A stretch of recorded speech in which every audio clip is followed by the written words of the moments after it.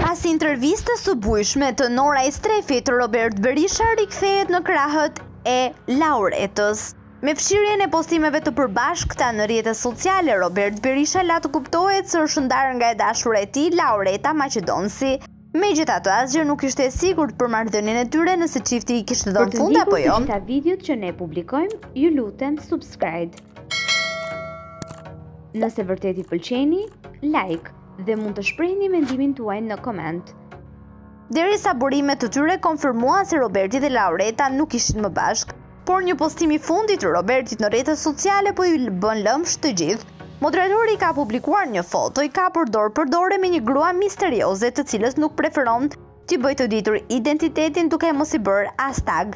Megjithatë, ajo që merr më shumë vëmendje është mbishkrimi Left Right Forever.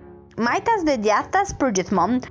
Roberti me sa duket jo pa qëllim gërmat LDR i ka vendosur të veçuara nga të tjerat që i ka shkruar me kapitale. Nuk dihet nëse L i referohet Lauretës dhe kjo mbetet për t'u parë.